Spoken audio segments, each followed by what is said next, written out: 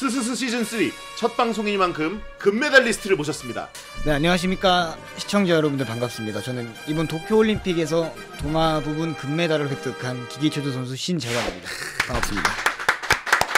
아 귀엽다는 얘기들 왜 귀여워요? 라고 네? 왜 귀여워요라고 왔습니다. 태어난 게 이렇습니다. 왜 저를 보고 싶다고? 그러니까 헬륨 가스를 먹고 이제 방송을 하는 그 장면이 있어요. 안녕하세요. 풋볼 매거진 꿀태경제입니다. 그 장면이 너무 웃긴 거예요. 그래서 한 20번 넘게 돌려봤는데 아 그때 진짜 이 영화 보고 싶다. 이 형님 진짜 보고 싶다. 아 나의 금메달 콜 금메달 중계는 이 사람이다 해서 부른 게 아니에요. 그게 지분이 한 90% 헬륨 가스가 10%아 그렇죠. 라고 합니다. 대한민국의 신재환 새로운 남자 도마의 황제가 탄생했습니다. 신재환 금메달. 신재환 금메달입니다.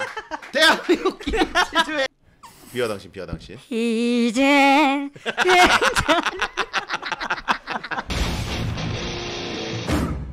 저 위에 응원해 예. 주시는 분들 저 뒤쪽에 우리나라 응원단은 아니지만 이제 관계자분들이 태극기 들고 있으니까 네.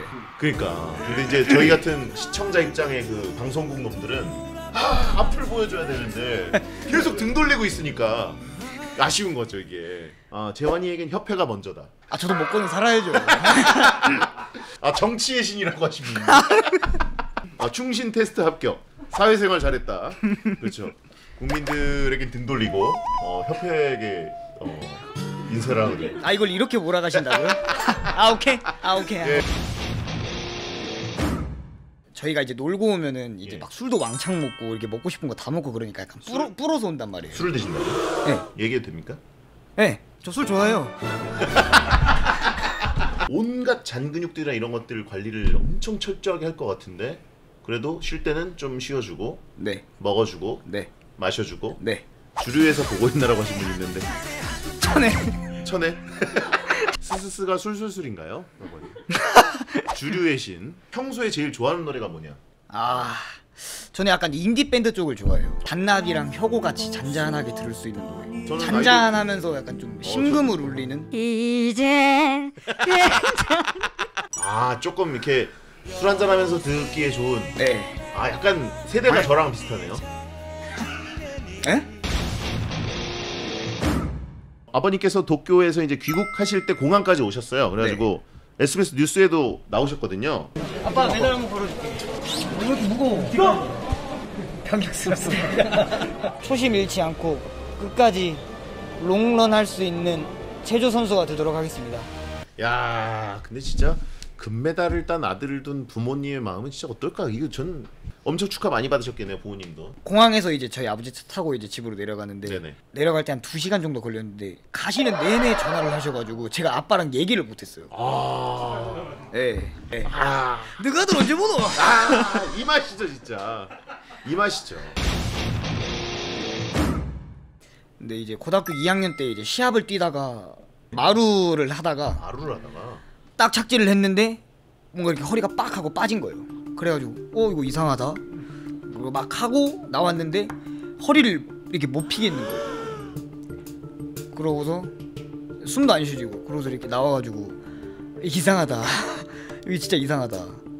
수술을 결심하고 수술을 하게 됐습니다. 그러면 철심을 지금도 꽂고 있는 건가요? 네. 빼면 안 돼요 라고 물어보니까 빼면 다시 해야 된다고.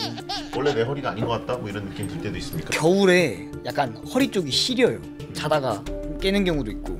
어 불편해 하고서 다시 자세 바꾸고 자고.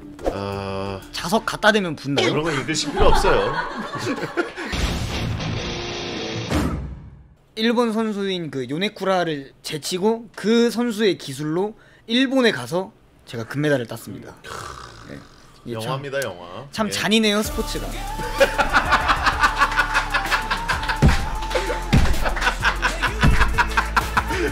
아 웃긴데. 아 오늘 제가 게스트인가요? 아 입담도 금메달. 예. 아 근데 진짜 이거는 영화 만들어줘야 돼요. 예. 성동희 씨 국가대표 감독으로 해가지고. 그렇죠. 체조협 회장 이경영 배우. 진행시켜. 다하네 다해. 저때 예선은 진짜 여유롭게 여유롭게. 표정도 거만하고 살짝 뭔가 와봐, 와봐. 와봐. 와봐. 뭘 와? 아, 그냥- 준비합니다. 다 부셔준다. 직전으로 찍겠다 하는 모습이죠. 네. 자 신재환. 네. 그때는 진짜 잘했어. 굉장히 좋았어요. 연습하던 대로. 네, 난도가 6.0 어? 고난도의 어 썩소 썩소 나오네. 저게 그겁니다. 지금은 상당히 건방지고.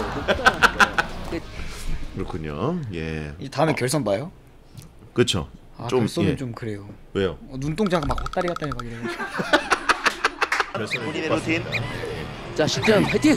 손을 살짝 뻗었습니다. 네, 그때 눈동자가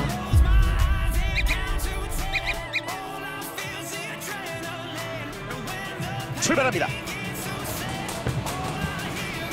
재환 착지. 네. 아 괜찮습니다. 그때 원래 못 좋습니다. 썼던 거예요. 네, 신재환 좋습니다. 1차 시기 잘했습니다. 어떻게 난도가? 가장 높은 6.0의 난도 기술을 보여준 신재환입니다.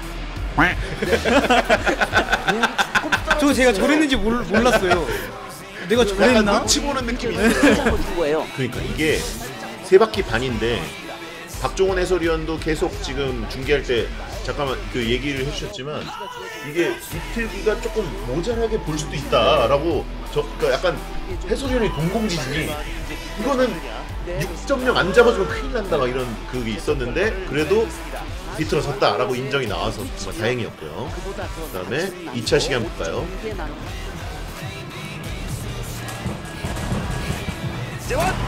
좋습니다. 좋습니다. 좋습니다. 지금 딱 기억나는 게 손을 딱 짚으면 원래 한번 짚힌 느낌이 나야 되는데 저때 손이 안 짚힌 느낌이 나는 거예요. 어.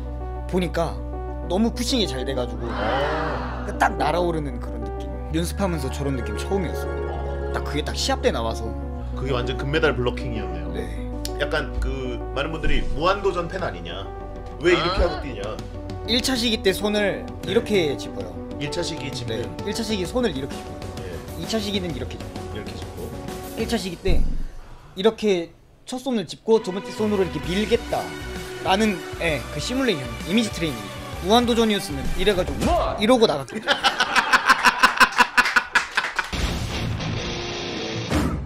예측하기 어려운 상황 아닙니까? 네, 수점까지 똑같이 나오는 게 네.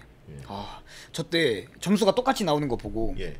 아 졌다 졌다? 하고서 딱 옆에 숫자를 봤는데 제가 이 2라고 적혀 있는 거예요 아블랴진이 예 그럼 제가 1등인 거잖아요 그렇죠 방방 뛰었습니다 뛸만 하죠 네. 아블랴진 선수랑 혹시 뭐 대화 나눈 거 있었나요? 대화를 나눈 건 없고요 음. 그냥 아블랴진 선수가 뭐 축하해줘가지고 thanks thanks 그리고 제가 첫 시상 그거잖아요. 네. 그래서 좀 많이 좀 어리버리했어요. 음, 좀 얼타고 그래가지고 이렇게 막 아블랴진이 이쪽으로 오라 그러더라고. 그래서 어, thank you. 경험이 많으니까 네. 아 thank you 그리고 뒤로 돌으래요. Thank you.